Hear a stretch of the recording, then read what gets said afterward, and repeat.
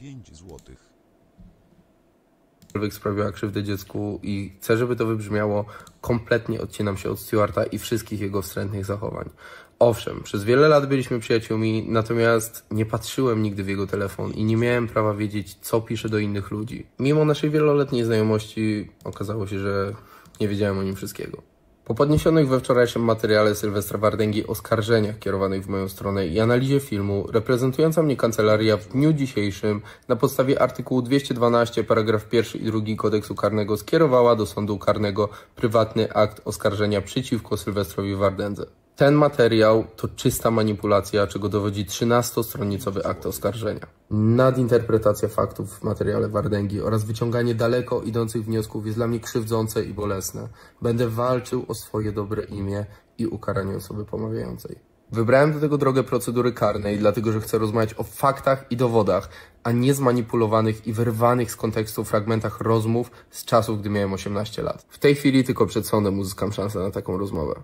Informuję, że w związku z zaistniałą sytuacją każda medialna wypowiedź na mój temat będzie analizowana przez moich prawników. Jeżeli moje dobra osobiste zostaną naruszone lub będą popełnione przestępstwa działające na moją szkodę, będą podejmowali natychmiastowe działania prawne z pominięciem etapu wezwań przedsądowych. Apeluję o rozwagę i powstrzymanie się od komentarzy bazujących na pomówieniach, z którymi będę walczył. Powtarzam, nie mam nic wspólnego z pedofilią i jest to dla mnie coś potwornego. Brzydzę się każdą osobą, która kiedykolwiek sprawiła krzywdę dziecku i chcę, żeby to wybrzmiało, kompletnie odcinam się od Stewarta i wszystkich jego wstrętnych zachowań. Owszem, przez wiele lat byliśmy przyjaciółmi, natomiast nie patrzyłem nigdy w jego telefon i nie miałem prawa wiedzieć, co pisze do innych ludzi. Mimo naszej wieloletniej znajomości okazało się, że nie wiedziałem o nim wszystkiego. Po podniesionych we wczorajszym materiale Sylwestra Wardęgi oskarżeniach kierowanych w moją stronę i analizie filmu, reprezentująca mnie kancelaria w dniu dzisiejszym na podstawie artykułu 212 paragraf 1 i 2 kodeksu karnego skierowała do sądu karnego prywatny akt oskarżenia przeciwko Sylwestrowi Wardędze. Ten materiał to czysta manipulacja, czego dowodzi 13-stronicowy akt oskarżenia. Nadinterpretacja faktów w materiale Wardęgi oraz wyciąganie daleko idących wniosków jest dla mnie krzywdzące i bolesne. Będę walczył o swoje dobre imię i ukaranie osoby pomawiającej.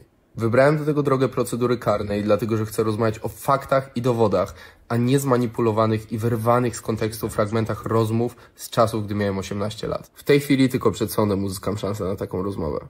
Informuję, że w związku z zaistniałą sytuacją każda medialna wypowiedź na mój temat będzie analizowana przez moich prawników. Jeżeli moje dobra osobiste zostaną naruszone lub będą popełnione przestępstwa działające na moją szkodę, będą podejmowali natychmiastowe działania prawne z pominięciem Okej, bo ja nawet nie wiedziałem, czy to się jest zapętlone. Em, powiem tak. 7 złotych. Ja w moim materiale mam wrażenie, że byłem mało oceniający. Ja tam przedstawiałem rzeczy 5 złotych. i czy ja tam daleko idące robiłem nadinterpretacje? To nie wiem. Musiałbym 5 złotych. zerknąć.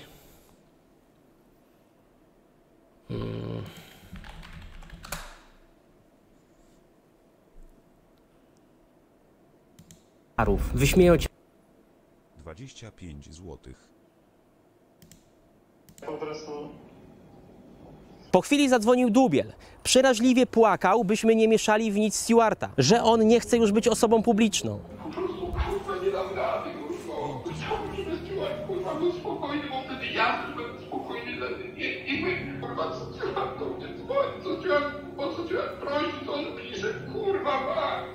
Dobra, ale do mnie Było to dla mnie bardzo dziwne. Skąd w chłopakach ten strach i te emocje? Skąd ten płacz? No to słyszymy tutaj strach, emocje i płacz. Chyba tutaj nie ma nadinterpretacji, nie? Gdy odwoziłem Faga 5 złotych. Dobra, kolejny fragment dopiero pojawia się gdzieś tutaj. O. Robiłem dziewczynie depilację, nic z tym niezłego. Tak, o, wyrywał i on mówi, że te włoski takie, o! Zanim przejdziemy do tego, jak wyglądało spotkanie Stewarta z młodą Wicką, wyjaśnijmy tu jedną kwestię.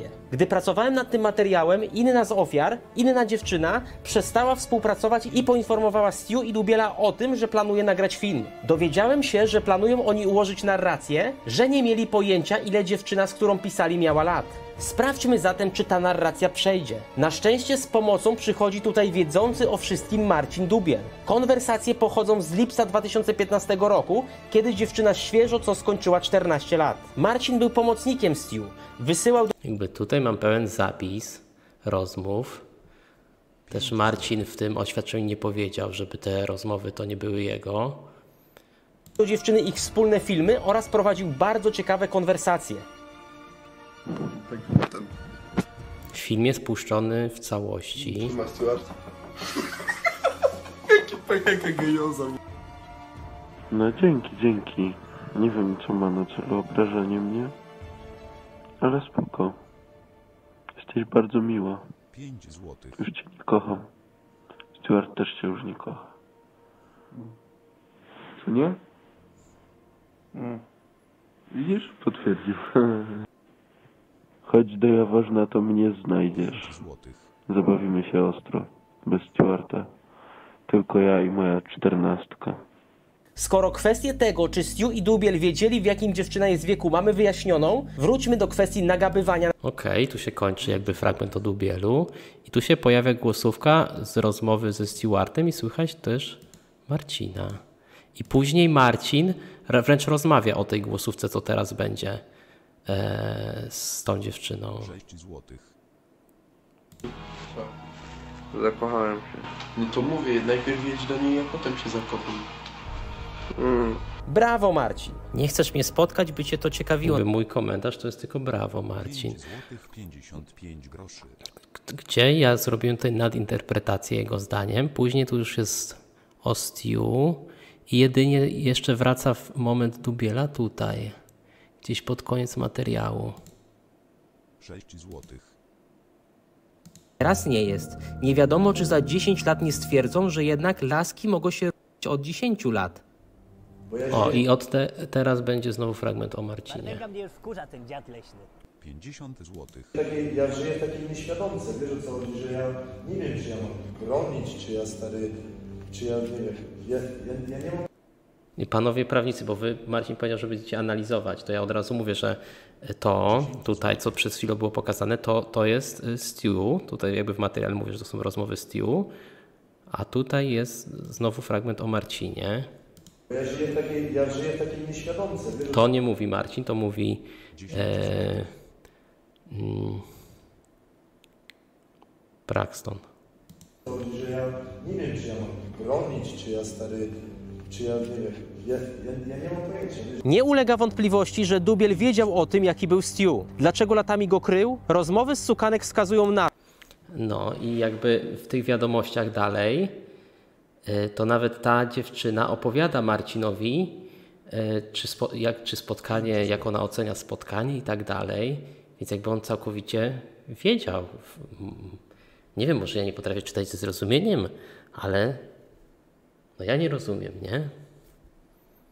Przecież sam namawiał do spotkania, mówił, że musisz, że leć do niej zanim się zakochasz, dopiero poleć, zobacz i wtedy się zdecydujesz, czy się zakochasz. Takie słowa padają. I jakby tu już jest koniec fragmentów o Marcinie. 10 Nie do końca rozumiem, czy ten pozew będzie zasadny. na to, że Stu posiada wiedzę, która Na wszystko mam dowody. Hmm. Dziwne. mogłaby skompromitować Marcina. Czy to prawda? Mam nadzieję, że niebawem Marcin sam wyjaśni, dlaczego wiedział o tym. A, tutaj jeszcze. Okej. Rozmowy z Sukanek wskazują na to, że Stu posiada wiedzę, która mogłaby skompromitować Marcina. Czy to prawda? Mam nadzieję, że niebawem Marcin sam wyjaśni, No, Stu w tych rozmowach e, z Sukanek tam no, pisze różne rzeczy o Marcinie. Jakby też to mam. I mówię, że rozmowy Stu z Sukanek sugerują i pytam, czy to prawda. Mam nadzieję, że Marcin się odniesie. Natomiast Marcin się nie odniósł kompletnie do tych rzeczy, tylko powiedział No, będziesz Sylwester pozywany. I tyle. 5 złotych. I dlaczego milczał latami? Ale nigdy nie dostałam żadnych, wiecie, dowodów, a jeżeli Stewart jest pomawiany, no to też bardzo chujowo. A ja nie mam żadnych dowodów i w ogóle. Nie wiem. 6 złotych.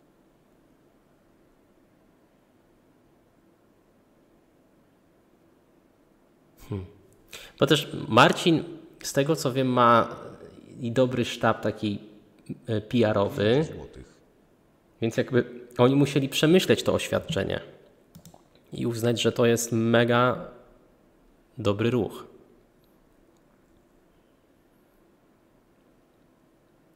Pięć złotych. No dobrze. Oświadczenie, znaczy Kostera wrzuciła oświadczenie, ale też Lexi.